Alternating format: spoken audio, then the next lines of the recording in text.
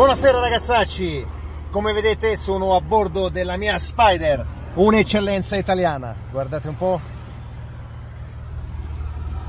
Ma non è tutto, perché sono appena uscito dalla Tanfoglio con due passeggeri altrettanto speciali, guardate un po' le mie spalle. Per saetta, solo il top del top a livello mondiale ed è l'eccellenza italiana. Un salutone ragazzacci e alla prossima avventura di Saetta.